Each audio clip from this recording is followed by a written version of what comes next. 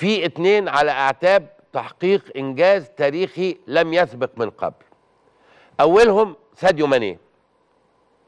ساديو ماني هو حاصل على دوري ابطال اوروبا.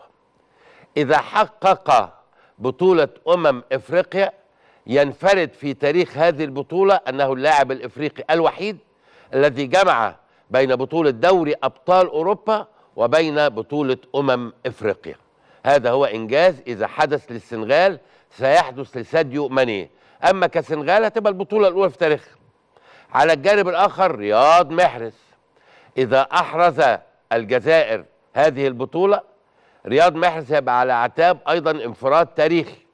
أن يحصل على بطولة الدوري الإنجليزي وفي نفس الموسم يحصل على بطولة أمم إفريقيا ومن ثم يحقق لنفسه أيضا إنجاز تاريخي غير مسبوق.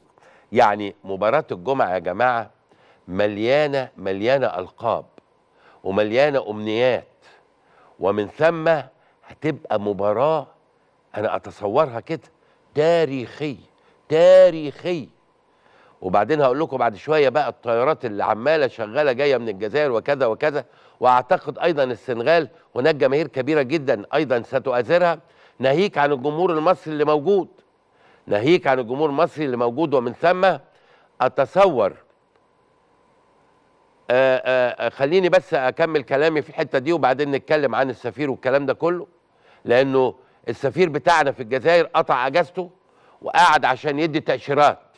عشان يمنح تأشيرات لأنه في إقبال غير طبيعي غير طبيعي على التأشيرات من جانب أصدقائنا الجزائريين عشان يجوا يؤازروا طبعا منتخب بلادهم ليعود كأس أمم أفريقيا بعد غياب 29 سنة وتبقى المرة الثانية في تاريخهم بينما على الجانب الآخر زي ما قلنا السنغال بتسعى بقوة أن تحصل على أول بطولة في تاريخها. 90 دقيقة بتفصلها عن هذا الإنجاز التاريخي للبلد.